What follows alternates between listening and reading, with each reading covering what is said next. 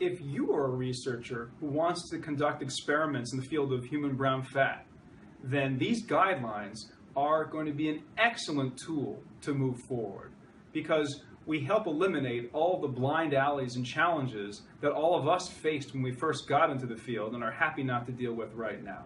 So you'll be able to get a better sense of how to prepare people for the activation of the brown fat, what kinds of machines that are really working best to help you capture the information, and then how to organize the data you collect into a manuscript that will be understandable and usable, not just for yourself, but for the rest of your colleagues as well.